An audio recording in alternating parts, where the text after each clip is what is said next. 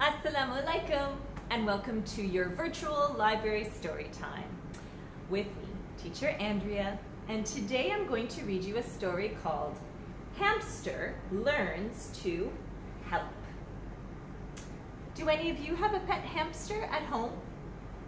Hamsters are small rodents. They're a little bit bigger than a mouse and they can be quite cute. What animal do you think that is? Maybe a bear. Let's see how hamster learns to help in this story. One day the animals were tidying up after playing. There was a lot to do, but hamster wasn't helping. Has that ever happened at home or in your class where you're busy cleaning up and somebody who helped to make the mess is not helping to clean up the mess? Puppy was carrying a big pile of bricks to the toy box. Hamster, please, can you help me? asked Puppy. No, I want to do a jigsaw puzzle, said Hamster. That's frustrating. No one really wants to tidy up, but we have to, right? Squirrel was putting clothes back in the dressing up box. Hamster, please can you help me? asked Squirrel. No, I'm doing my jigsaw puzzle, said Hamster. Would you say that to your friend if they asked you for help? Bear was taking books back to the bookshelf. Hamster, please, can you help me? asked Bear. No, I'm still doing my jigsaw puzzle, said Hamster.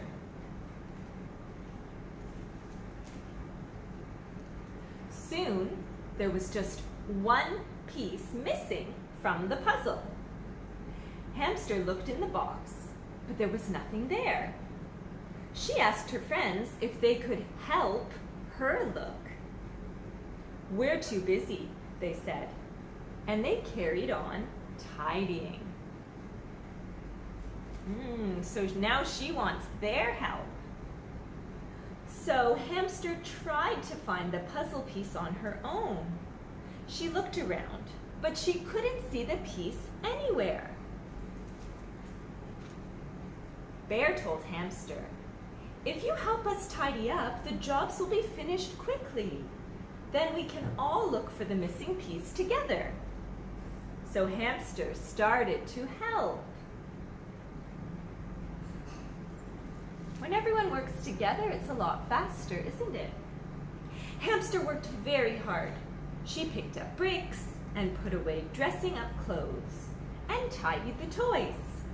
Well done, Hamster, said Squirrel. Hamster smiled. She felt good for helping out. With Hamster's help, the tidying was soon finished, so the friends searched for the missing piece together. Squirrel lifted up the rug, and the missing piece was underneath. Thank you, Squirrel, said Hamster, and she rushed to complete her puzzle. Hamster was glad that she had such helpful friends. Let's do the next puzzle together, suggested Hamster. It was the perfect reward for their hard work.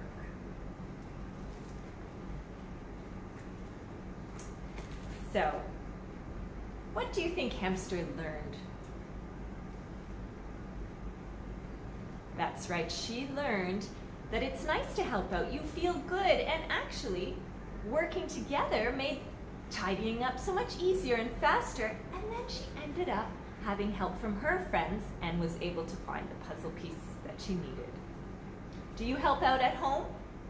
And when you're at school, do you help out too for tidying up and bringing books and, and even helping friends who need it? I hope so. I hope you enjoyed this story and maybe you can share with me one way that you help out. All right, guys. I can't wait to see you again in the library, hopefully soon. Until then, Assalamu alaikum. Bye.